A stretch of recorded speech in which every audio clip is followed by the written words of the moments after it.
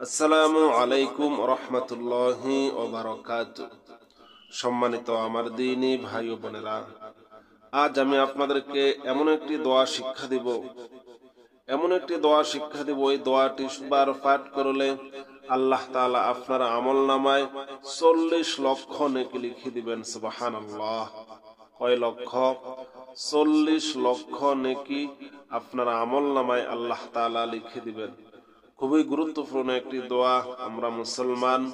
আমাদের অবশ্যই এই দোয়াটি সকলেরই মুখস্থ রাখা উচিত। আমাদের জিন্দগিটা গুনাহ গুনায় ভরপুর হয়ে গেছে, আমরা অনেক গুনাহ করে ফেলেছি।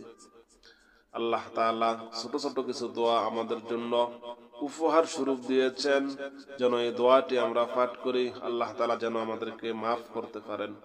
সম্মানিত আমার দিনই ভাই ও বোনেরা, ছোট্ট এই দোয়াটি এখন আমি আপনাদেরকে শিক্ষা দেব ইনশা আল্লাহ أعوذ بالله من الشيطان الرجيم. بسم الله الرحمن الرحيم. أشهد أن لا إله أشهد أن لا إله إلا الله إلا الله وحده لا شريك له. وحده لا شريك له.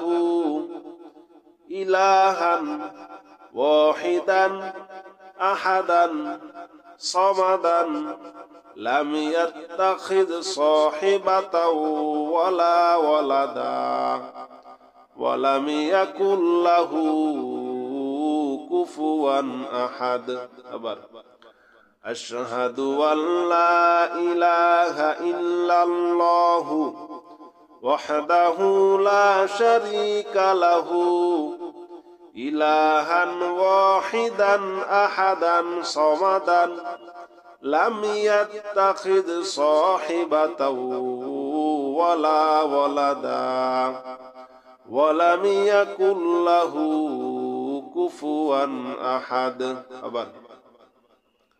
أشهد أن لا إله إلا الله وحده لا شريك له إلها واحدا أحدا صمدا لم يتخذ صاحبة ولا ولدا ولم يكن له كفوا أحد.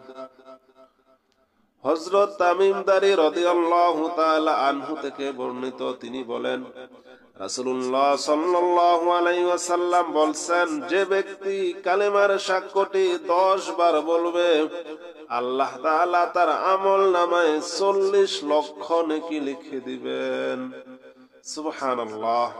10 বার পড়লে আল্লাহ তাআলা আমল নামায় 40 লক্ষ নেকি লিখে দিবেন। সুবহানাল্লাহ। সম্মানিত আমার দিনী ভাই বোনেরা, ইনশাআল্লাহ এই আমলটি আমরা করব। আমরা আমরা অল্প হায়াত নিয়ে দুনিয়াতে এসেছি। আমরা যদি অল্প হায়াতের ভিতরে ছোট ছোট দোয়াগুলা পরে যদি অনেক নেক আমল নিয়ে অন্ধকার কবরে যেতে পারি, তাহলে আমাদের মতো এত সৌভাগ্যবান আর কে আছে? ইনশাআল্লাহ এই আমলটি আমরা করব এবং আমাদের বাসার ছোট ছোট বাচ্চাদেরকে ছোট ছোট এই দোয়াগুলা শিখিয়ে দিব। আজ এই পর্যন্ত আসসালামু আলাইকুম